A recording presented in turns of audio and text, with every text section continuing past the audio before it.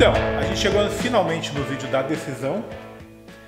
Recapitulando, Paulo, o que, que a gente viu e depois a gente vai falar o porquê que a gente decidiu e o que decidimos. É, o Carlinhos começou querendo comprar uma bicicleta, né? Mais ou e, menos.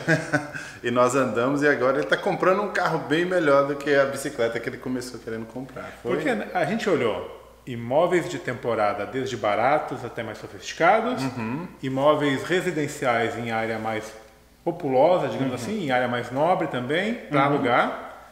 Uh, negócios, ele falou lá de comer, de comer a parte comercial, mas é muito fora do nosso bolso, porque é algo mais caro. Né? É, então, e além de ser mais caro, é um negócio que você não tem tanta segurança como é a área residencial. Né? Lembra que negócios, o que, que acontece? A pessoa abre uma empresa e ela aluga esse imóvel, por exemplo, o inquilino. Você é dono de um uhum. imóvel, uhum.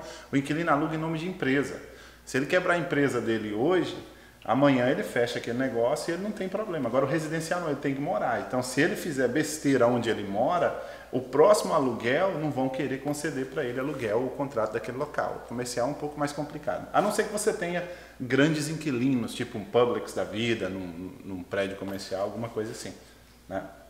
Partindo disso, a gente viu muita coisa. Não foi ao ar tudo que a gente viu, porque a gente não. viu muita coisa. A gente realmente começou em dúvida total. Eu vim para cá para começar essa série com o Pablo, querendo um imóvel de temporada para fazer dinheiro. Uhum.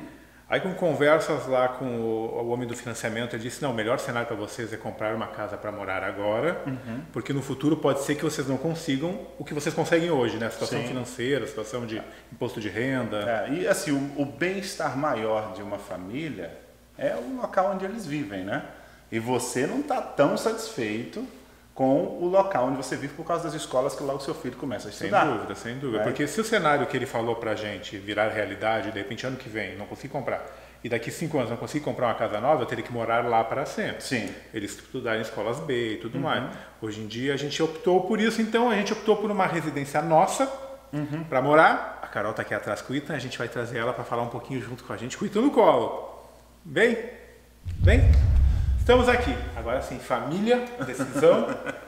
É. Fale um pouco, Paulo, um Não, pouco do nosso. Eu vou só lembrar um pouquinho da nossa jornada, né? Vocês chegaram em mim procurando imóvel de temporada. E fui mostrar para vocês números, despesas, como é que funcionam os imóveis de temporada, porque existe. É, é, são imóveis bons, mas são para clientes específicos. E isso foi um negócio que a gente tentou encontrar nisso. Talvez você, como o Carlinhos Troll, você teria um cenário diferente. Né?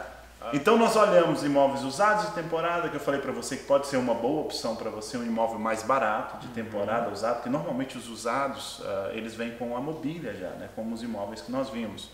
Olhamos foi, foi bem tentador, eu digo. É, e é bem Pesou bastante. É. Pode ser uma segunda opção. Pode, pode, né? porque não é tão, tão caro o investimento. Né? Depois nós olhamos imóveis residenciais mais baratos também para você investir. Só que você sempre ficou com aquele negócio, poxa, mas eu vou continuar na mesma casa que eu moro, eu estou querendo escolas boas. Né? E, e, e, se a gente não conseguir mais sair? É, o nosso grande peso mesmo foi, porque a gente, quando comprou essa casa, a gente já sabia que se mudar uns 3, 4 anos, mas o nosso medo é que o nosso cenário hoje permite a gente escolher a casa dos sonhos. Sim. No futuro, talvez não. É. E eh, a região também faz uma diferença muito grande, né, Carlinhos? Você gasta hoje muito tempo para ir em qualquer lugar que você precisa, né? Sim. Sim, sem é. dúvida. Aqui é perto de No é. mínimo 20 minutos, no mínimo. É, no mínimo 20 minutos. Então, morar perto de centros comerciais, Walmart, Publix, um outlet, isso sempre é um negócio um pouco mais difícil. Então nós olhamos bastante coisas e chegamos na região que eu quase não falo, cara, que é o Winter Garden, né? Quase nem falo. 90% do vídeo do Paulo. É, é porque ele mora aqui também, ele mora na parte mais de cima, né, de Winter Garden. É, eu moro na parte antiga. Agora, o pedaço que vocês estão é chamado de Horizon West, que é o Hamlin até perto da 192 em que cima é chamado de Horizon West. Hoje é o número um em crescimento na Flórida e o número 3 dos Estados Unidos. A valorização dos imóveis aqui é assim, absurdo. Nós fizemos um, um, um vídeo de uma, uma townhome por 231 mil dólares. Hoje nem longe, num imóvel longe, não tem de 231, a mais barata é 245. Para salientar isso que ele falou de, de valorização, a gente depois que decidiu casa para morar, a gente ficou muito em dúvida sobre uma usada que a gente viu contigo. Foi. Com a bundinha pro lago. Uhum. E um dos fatores dela em relação a essa diferença é a valorização. Tu uhum. falou que lá, por ser uma zona que já é pronta, Sim. já Normalmente, antiga, aonde já está consolidado... Não valoriza. Não, por exemplo, o pessoal ama Hunters Creek. Eu nem mostrei Hunters Creek para você, porque as, as casas são velhas, Sim. E as novas que tem, a valorização é 1, 2%, você não tem t... E as escolas não são tão boas. Se a área vai consolidando, o que, que acontece? Os bairros ruins vão chegando perto das áreas novas. Aqui não, o que está em volta de você? O Endemir, que é um bairro considerado até melhor do que o Integrado.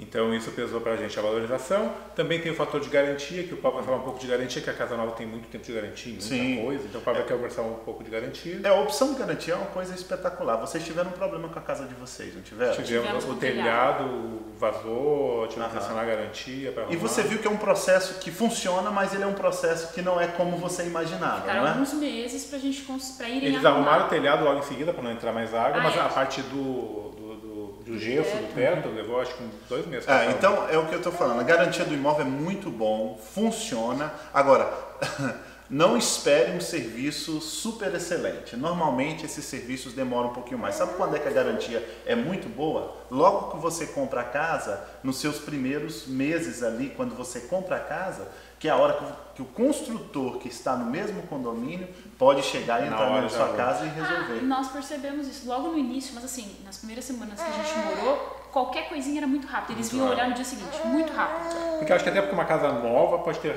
defeitinhos rápido, até claro. tá testando irrigação, é. falhou. É, nós vamos fazer um negócio chamado walkthrough. Né? Sete dias antes do, do, da entrega da casa, nós vamos andar e ver se a casa tem algum defeito se ela tiver algum defeito, a gente vai colocar ali uma fitinha azul hum. e eles vão voltar e arrumar. Ah, eu não fiz isso na nossa. ela estava no Brasil, Brasil eu, eu, gravei todo com câmera. Quero é muito fazer. É legal e no, no dia de assinar, para pegar a chave da casa, nós vamos fazer o tal do final walkthrough.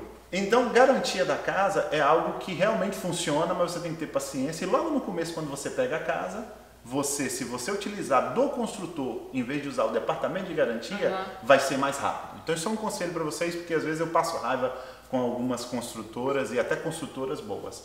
Então nós chegamos em Winter Garden, perto do Walmart, perto do Publix.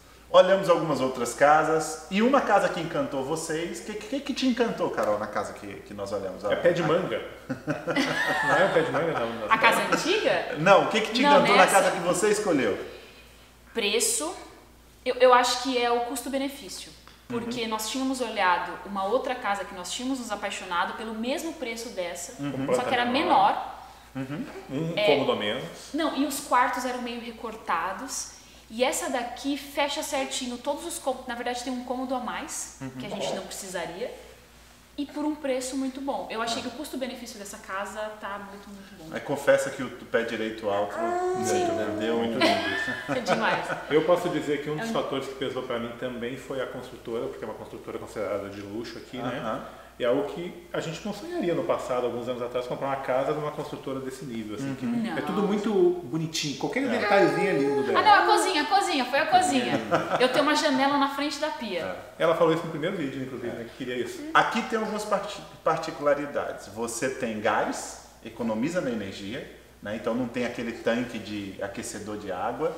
Aqui você, o condomínio é só 92 dólares por mês. Tem piscina, salão de festa, essas coisinhas, mas é bom, é bom ter um condomínio de valor baixo. E a casa tem quase 300 metros de área útil. É muito grande. É muito grande a casa. A gente finalmente vai ter um quarto de hóspedes para receber a sogra quando vier. E, ah, gente, sério, se você tem família grande, chuveiro a gás é a melhor coisa que existe. Porque o elétrico, se alguém tomar um banho muito longo, outra pessoa acaba a água quente da casa. É, isso é verdade. E aí, você, se a gente encher a banheira do nosso banheiro, não tem água para tomar banho. Tem que é esperar alguns minutos para esquentar de novo. E o a gás não tem isso. É muito mais rápido com fogo, né? Sem falar que é uns 15% de economia de energia. Sério? É, é o que você gasta, você vai gastar pouco de gás e vai te dar no final o que os construtores dizem na casa de 15% de economia de energia.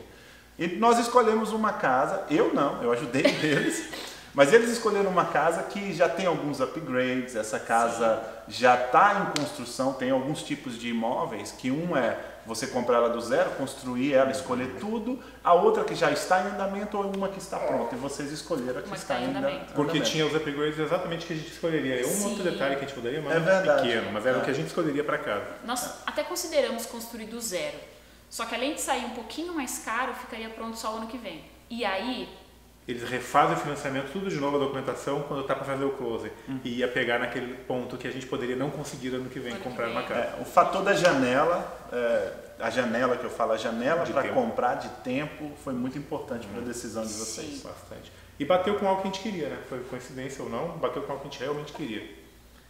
A gente vai, antes de acabar esse vídeo, na casa, na casa nossa mesmo, uhum. mostrar porque está em construção, vou mostrar um pouquinho para vocês lá. Ah, mas eu posso mostrar ela de novo aqui?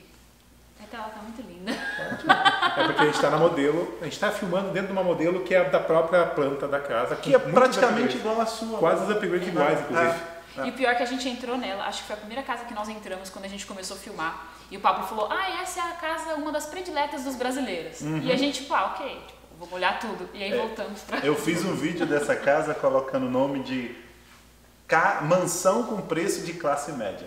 É, é mais ou menos exatamente isso que acho que define essa casa, porque ela não é caríssima, uhum. nem um pouco. Mas é uma casa grande pra caramba. É casa, a prestação vai ficar muito parecida com, com um aluguel lá da área onde a gente moraria uhum. pra gente, então não vai ser salgado.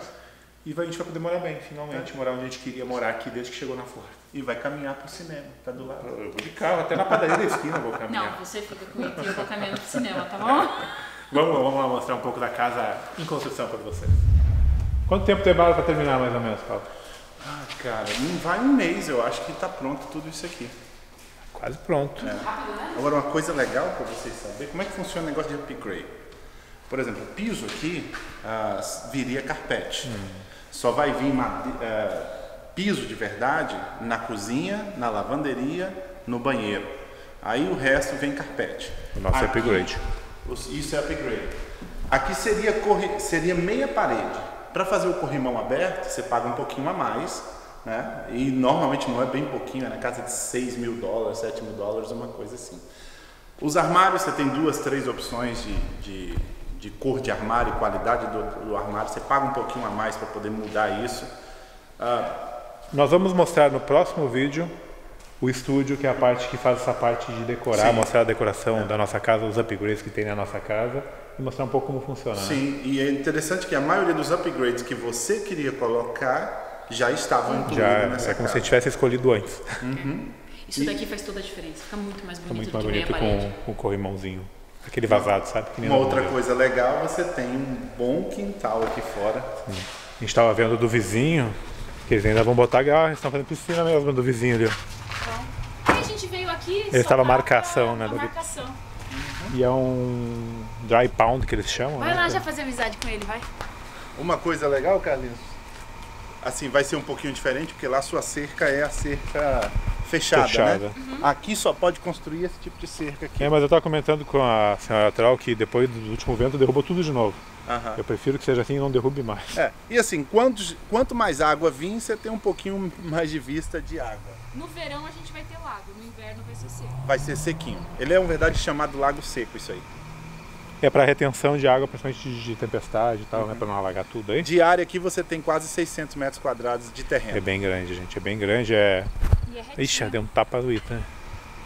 É. Ele, é, ele só dá uma. É que nem o vizinho, ele é meio reto aqui assim, dá uma declivezinha aqui, ó. Que nem o vizinho tá fazendo aqui, ó. A gente vai poder fazer igual se a gente quiser, né? É, mas a consultora vai te entregar com grama e claro, com irrigação aqui. Tudo bonitinho. A gente quer fazer aquilo ali, ó.